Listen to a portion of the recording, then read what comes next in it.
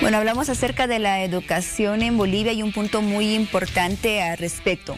Eh, tenemos un representante del Instituto Departamental de Estadísticas La Paz.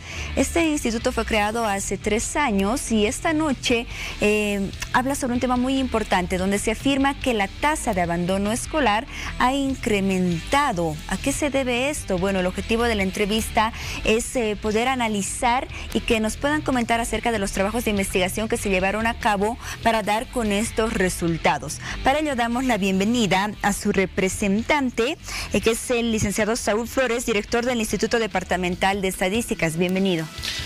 Bueno, muchísimas gracias. Un gran saludo cordial a todos los televidentes. Es la primera vez que vengo y bueno, espero poder volver.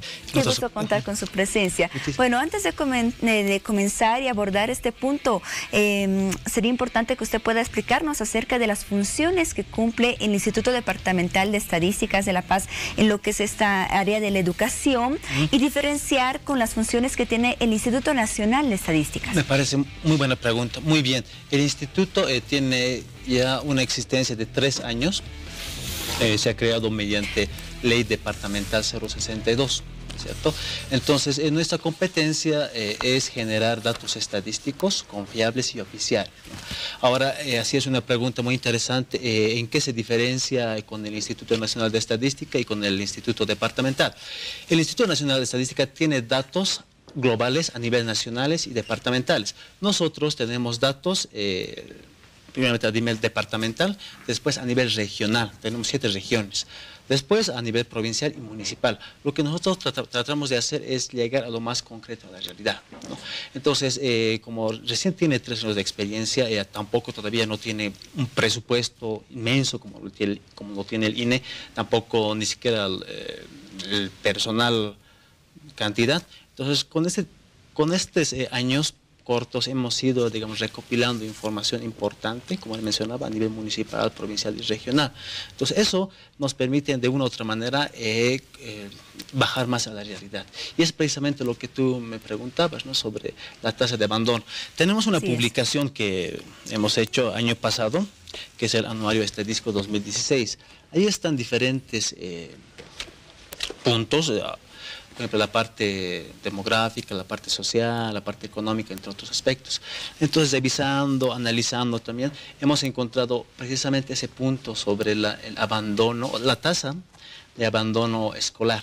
Es un punto importante ya que el instituto afirma que pese a las distintas políticas, avances eh, del Estado respecto a la implementación del bono Juancito Pinto, por ejemplo, los incentivos que se dan a los mejores estudiantes eh, de las unidades educativas cada año, inversiones en centros educativos, pese a todo ello, habría aumentado la tasa de abandono escolar. O sea, son más los niños estudiantes que no estarían asistiendo a clases. Exactamente.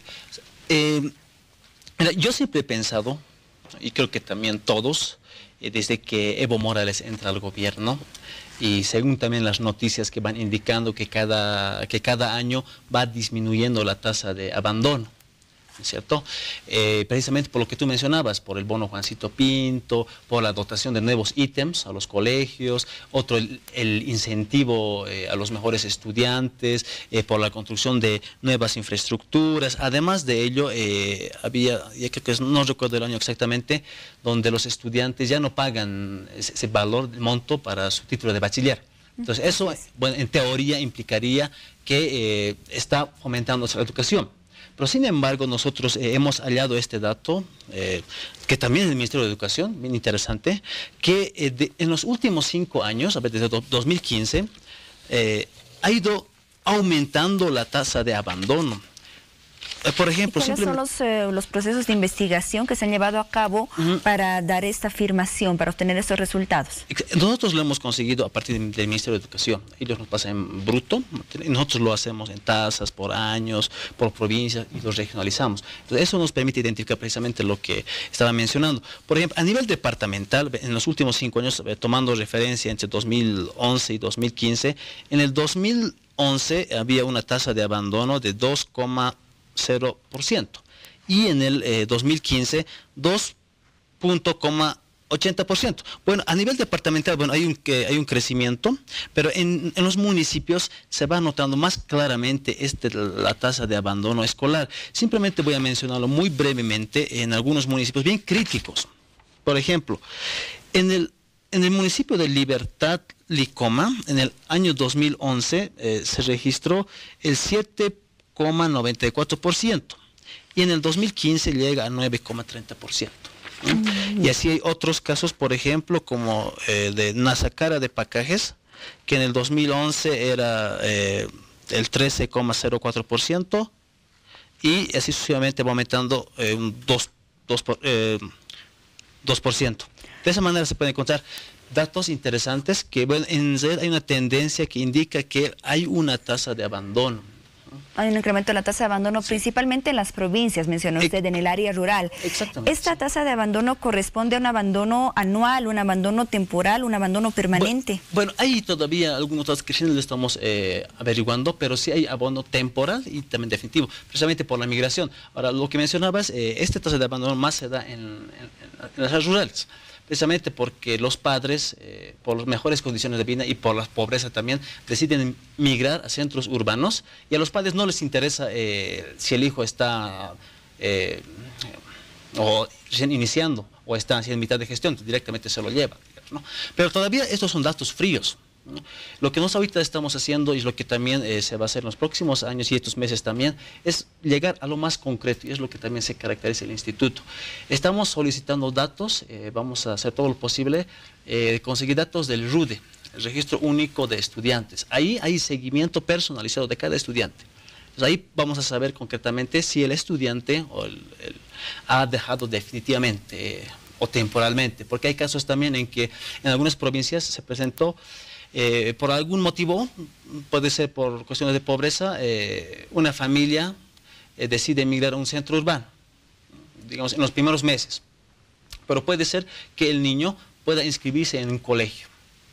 Pero sin embargo, estos datos nos indican que se ha abandonado, pero puede ser que, puede ser que ahí se, se haya inscrito en, en, otro, en otra escuelita. Entonces, el único que nos puede dar información más detallada es el RUDE.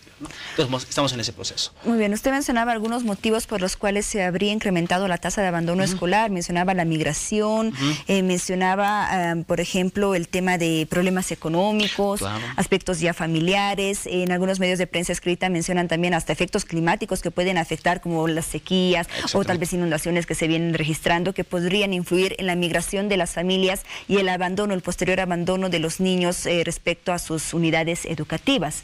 Eh, respecto a al trabajo de investigación que ha realizado, los resultados que, mm, que obtienen, ¿cuál es el análisis que tiene ahora el Instituto Departamental de Estadísticas de La Paz para mejorar esta situación y que vaya más bien disminuyendo esa tasa de abandono escolar? Bueno, bueno la gobernación hace eh, apoyo a la educación más en eh, centros tecnológicos, institutos tecnológicos, ¿no? Eh, con infraestructura y equipamiento. Pero bueno, hablando sobre esto, eh, digo, muy crítico, y nosotros hemos llegado a la conclusión de que el problema de, la educación no es simplemente eh, dando bonos. Yo creo que 200, no sé cuánto es el bono exactamente, es 200 bolivianos, un, poco más, creo que es. Lo que beneficia alrededor de más de 2 millones exactamente, Exactamente, entonces eso, 200 bolivianos anualmente no soluciona pues el problema el problema estructural de la educación. Entonces nosotros creemos que la educación es un problema más de fondo, es un problema más de estructural, que no se va a solucionar con las políticas que está manejando el gobierno. Bueno, ¿cuáles serían las soluciones entonces que plantean? primeramente es que se tenga datos verídicos, lo más concretos posibles, para poder hacer buenas políticas públicas. Eso es lo que nosotros también estamos haciendo, porque como mencionaba, el INE tiene datos generales a nivel global. Nosotros queremos llegar a los datos concretos a nivel de municipios, a nivel de sectores, a nivel de regiones, y así plantear unas, unas políticas sociales coherentes, digamos, y no al momento del, y al calor del discurso, ¿no? como está haciendo el gobierno actual. Muy bien, seguramente se trabajarán en esas políticas eh, ya con los datos que faltan para complementar Exactamente, no, no estamos en eso. Muy bien, agradecemos la presencia entonces del licenciado Saúl Flores, director del Instituto Departamental de Estadísticas de La Paz. Gracias por la información que nos brindó esta noche y hasta otra oportunidad. Muchísimas gracias. Gracias. Muy bien, llegamos al final de hora 23.